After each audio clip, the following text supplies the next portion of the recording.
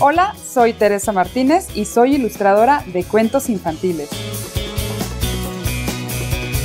Me gusta el mundo de la ilustración infantil porque me permite darle rienda suelta a la imaginación y divertirme.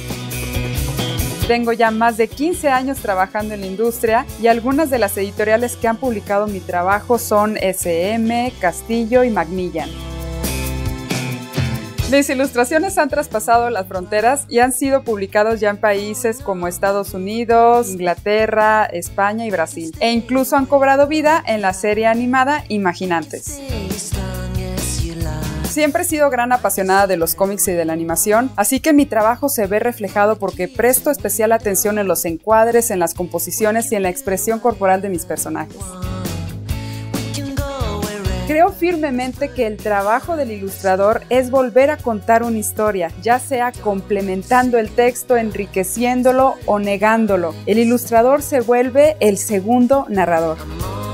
En este curso de doméstica les voy a enseñar las bases para ilustrar un cuento infantil. Como proyecto final desarrollarán una ilustración que puede funcionar como portada de su cuento. Además, trabajaremos en un storyboard y distintas ilustraciones que nos servirán para presentar nuestro proyecto a un editor. Primero te contaré las tres distintas formas en las que puedes abordar un texto para ilustrarlo. Más adelante veremos los principios básicos de la composición para enriquecer tus ilustraciones y empezaremos a trabajar en nuestro storyboard Tomaremos una de las escenas y detallaremos el boceto para posteriormente hacer el estudio de valores. Les hablaré un poco de teoría de color que nos va a servir para elaborar la paleta de colores. Y es entonces donde empezaremos a trabajar de forma más segura en la ilustración de nuestro proyecto en Photoshop. Trabajaré en las luces, en las sombras, en las texturas, detallaré también los elementos para lograr una buena composición atractiva a los ojos del observador. Ya por último, trabajaré los detalles y les daré algunos tips para hacer modificaciones en los ambientes y en los colores. Y ya como extra les contaré cómo presento yo mis proyectos a un editor.